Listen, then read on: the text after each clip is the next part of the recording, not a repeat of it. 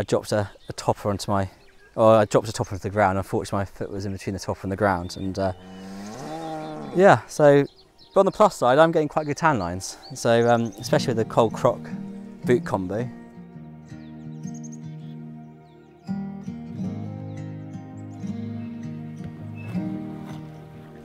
Hello, I'm Henry Andrews and I farm at Lee Worthy Farm. I farm in partnership with my wife and semi-partnership with my four delightful children. We've got uh, native, predominantly suckler herd, sort of hodgepodge of cattle. We farm 120 acres, all pasture based.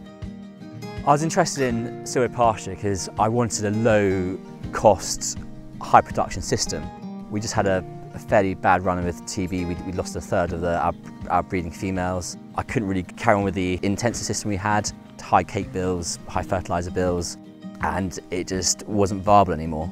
We decided that we'd go the opposite way, become very extensive, try and keep our, our cash flow low, and we thought, us, uh, we thought an agroforestry silvopasture system was a perfect place to start really. So we're stood in a avenue, what I call an avenue system of trees. It wasn't a system I wanted to Im implement, I was heavily persuaded to, to put it in. I was more excited about shelter belts because that's the sort of plant designs that we're grazing at the moment, of uh, old coppice, coppice woodlands. And that's what I wanted to do. But actually, this is my favourite design. The production of here is fantastic. We've utilised the field so much better than beforehand. So we're managing it as a sort of a paddock system, so the cattle allowed a, a, certain amount of days in it. The great thing about it is it's all electrified, so we, I can easily put up a, a bungee cord and I can change the amount of space they have to, to the grass conditions, weather conditions, and it's just so easy. But beforehand, setting up electric fences would be sort of a, an hour job. Now it's seconds. It's really good. But when they're in this, in these tight confines, it's almost like they're going back to their, their woodland creatures that they were designed to be. They weren't designed to be in, in, in uh, open plains and open fields. They want shelter, they want protection. Their, their persona seems to change when they come from an open field like next door into here.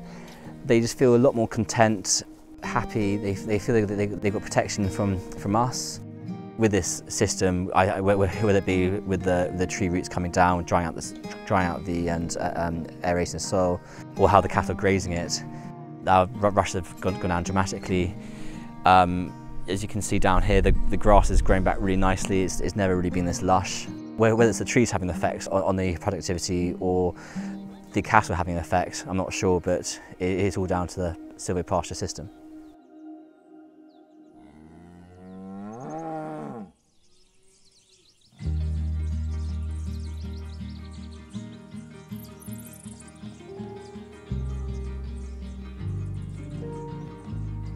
So we're in a living barn, which is what Maldiv agroforestry was when I first started the trial.